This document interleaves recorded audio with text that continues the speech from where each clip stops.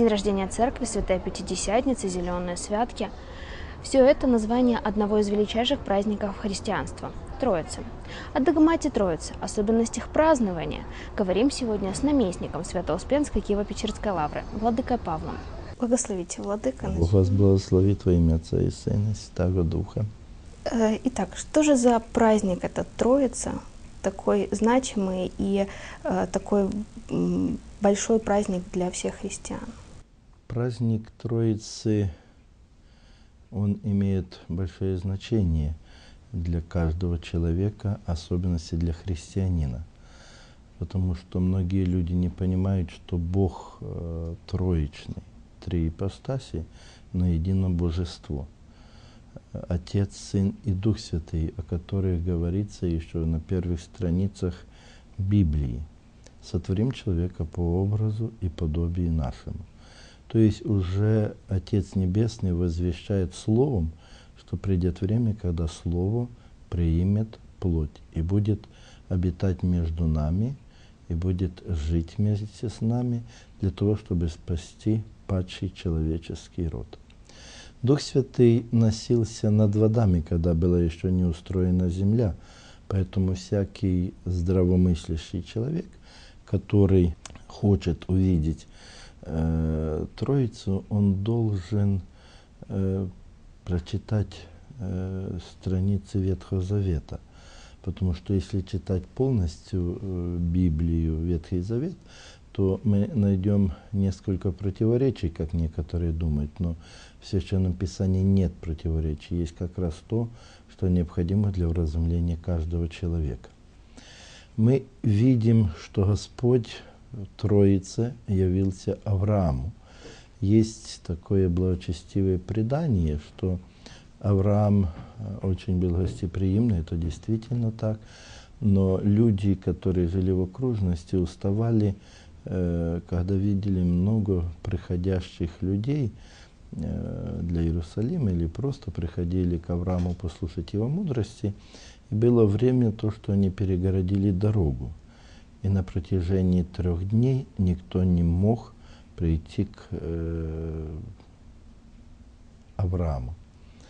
И когда э, разобрали эту перегороду, э, сам Господь в Троице в виде трех ангелов прибыл Аврааму и сказал те великие слова, которые все исполнили, что от Авраама произойдет э, великое множество народа, и э, что Сара родит э, на следующий год Исаака, и все это исполнилось. И э, праотец Авраам обращается к трем как единому, Господа, Господин, то есть Боже. И здесь мы видим, что это было не случайное явление, потому что Господь указал, что если даже будет один праведник, э, проживающий в городе, в том или ином селении, Господь помилует эту страну. Мы видим троичность, троицу э, в Новом Завете. Первые э, открытия, откровения Троицы, это когда Господь э, крестился на реке Иордан. Сын крещается, Отец глаголит, и Дух Святый в виде голубя сходит на Бога человека Иисуса Христа – Второе явление Троицы в Новом Завете – это когда Господь преобразился. Э, сам плотью указал, что э, преображение человека должно происходить всегда. Мы должны восходить из силы в силу.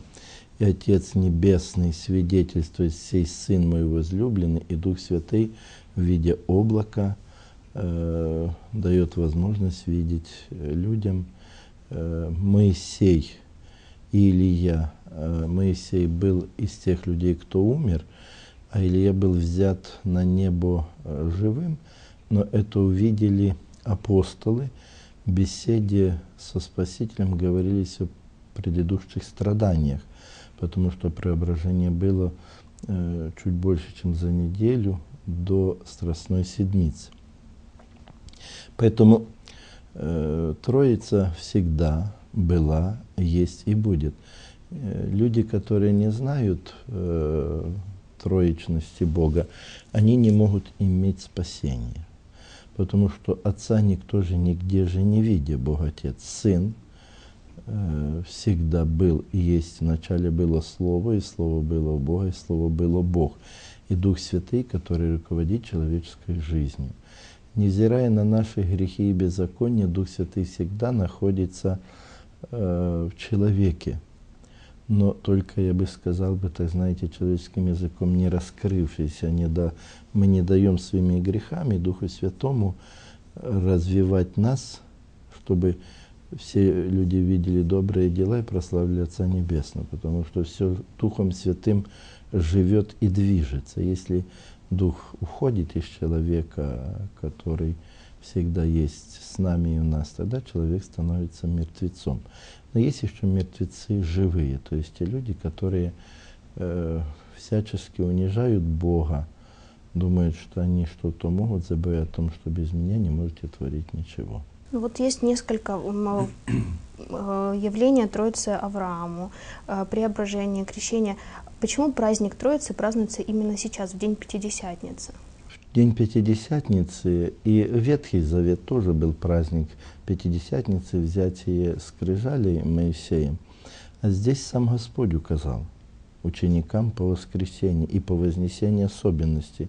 Сидите в Иерусалиме до того времени, пока не получите другого утешителя, Духа Святаго. И сам Господь сказал, если я не, не пострадаю, не уйду к Отцу, то не придет Дух Святый Утешитель. Поэтому все промыслом Божьим у церкви утверждено так, что Господь сказал, я не, нашел, не пришел нарушить законы пророки, а сопоставил и исполнил все то, что было сказано через пророку. Поэтому в сороковый день после э, воскресения Господь видимо оставляет мир, а невидимо он всегда с нами.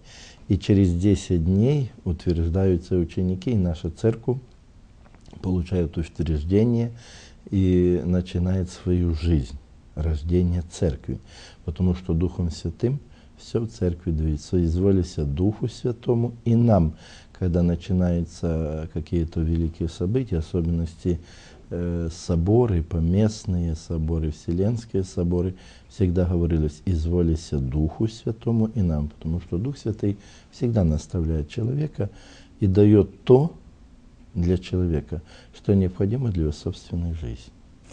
Действительно, Троицу называют еще днем рождения церкви. Расскажите про апостольское вот преемство. Что это такое?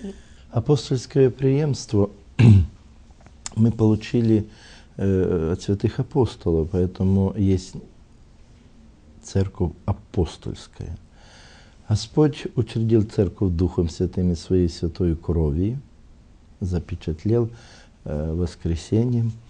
И апостолы, получив обетование Святого Духа, приняли этот Святой Дух, и он перед, э, через рукоположение – дается эта благодать Святого Духа, священнослужение и преемственность апостольского служения. То есть апостолы получили этот Дух в 50-й день, они получили благодать Святого Духа прощать и разрешать грехи и в первый воскресный день, потому что Господь явился э, дверем затворенным, мы не можем этого понять э, своим умом, как мог Господь пройти, через стены, через дверь, но он это совершил. И как раз Евангелие свидетельствует, дверям затворенным, и пришел, сказал, мир вам, мир мой даю. Не тот мир, который дает мир, о котором сегодня многие говорят, но действительно, кроме ненависти и злобы, сучастной особенности мира, он больше ничего не дает. А когда апостолы 50-й день получили благословение, и это благословение передается через рукоположение. Вот, к примеру, апостол, будем говорить так, э, апостол Андрей рукоположил блаженнейшего митрополита Владимира. Блаженнейший митрополит руководил меня, владыку ректора Антония, владыку Климента и других архиереев. И эту преемственность мы, возлагая на других э, избираемых синодом церковью людей, мы возлагаем руки, это как раз является преемственность апостольского служения. И апостол Павел говорит Тимофею, ни на кого быстро руки не накладывай. То есть не рукополагай, э, не испытав веры, искусности веры, то есть знании э, учения о церкви и самой церкви. Поэтому тут как раз те люди, которые сами себя сегодня очень, это видно много, раскольников, которые появились вчера, после вчера еще появятся, потому что Господь сказал, приду, обрящу ли я веру. Какую веру? Которую Он основал. Поэтому как раз преемственность – это есть рукоположение апостолов и передается из рода в род. Когда мы говорим про веру и про те догматы, которые мы исповедуем как православные христиане, главный догмат это вот троечность, э, троечности Бога, э, единой, э, единого Бога в трех лицах, в трех ипостасиях. Э, были разные версии, там, в, начиная от э, арианской, арианской да, о том, э, кто кому подчиняется, где кто как от кого зависит.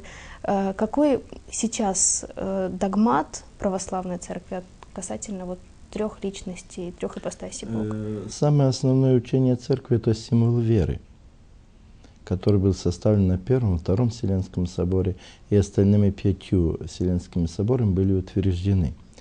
Э, верую в единого Бога Отца Вседержителя, Творца неба и земли, видимым же всеми ними. То есть Господь создал. И в единого Господа Иисуса Христа, Сына Божия, которого тоже приписывали, э, одни говорили, что Он Бог э, без человечности, и другие говорили, что человек. Но Иоанн Златоуст свидетельствует нам о том, если мы говорим, что Иисус Христос только Бог, то мы не спасены. И если мы говорим, что Иисус Христос есть человек, мы тоже не спасены. Потому что не слитно, не раздельно соединяется несоединяемое Богу человек. Э, Христос является Богом и был, и есть, и будет Богом, но принимает нашу с вами плоть для того, чтобы спасти нас. И это спасение только приходит не в слиянии, и не в соединении, а просто принимает Бог человеческую плоть и становится не просто человеком, а Бога-человеком. Если бы он был стал просто человеком, он бы не смог бы воскреснуть, потому что это было ему не подвластно. Хотя мы читаем в Священном Писании, что сказано, Бог воскресил его, то есть воскресил не Иисуса Христа, а воскресил плоть. Он же сам владыка и творец Вселенной. Когда дальше начали развиваться вольнодумство, когда в церкви появились такие люди, которые э, хотели поставить себя в, зна в знание веры, все, они унизили также и Духа Святого. Они сказали, что это тварное существо. Поэтому Второй Вселенский собор как раз и утвердил, что Дух Святый тоже есть Бог. И в Духа Святого Господа животворяш, и же от Отца исходяш, и с Отцем и Сыном, с поклоняем и славу голосу пророки. Вот как раз эта преемственность через апостолов, пророков, пророков и апостолов, она происходила и происходит до сегодняшнего дня. Потому что апостолы, пророки нас привели к Иисусу Христу, будем говорить, к Вифлеемским яслям, и указали, пришло время исполнения божественного промысла и воли. Бог не оставляет небо, но соединяется с человечеством и живет между нами для того, чтобы спасти. Поэтому, знаете, не понять человеку э, божества, троичности. И я считаю, если ты не можешь разобраться сам в себе, то не стоит э, влезать в догматы, а нужно воспринять верой, без сомнения, потому что Дух Святый через святых мужей – апостольских, епископат, который установил это все, говорил сам. Человеку самому невозможно прийти к познанию божества. Есть одна такая история, что человек хотел понять э, Троицу и приходит к берегу, и мальчик шкарлупой яйца переливает из моря в песок воду. Говорит, ты что хочешь? Говорит, ну хочу показать, что хочу вычерпать море. Это тебе невозможно. А мальчик говорит, тебе невозможно понять и саму живоначальную троицу догмат. и мальчик стал невидим, понимаете, это был ангел, который вразумляет человека. Поэтому эта тайна велика, непостижима, но насколько мы очистим свое сердце, ум, настолько Господь откроет нам эту величайшую тайну. Вы смотрите проект «Акцент». Сразу после выпуска новостей вернемся.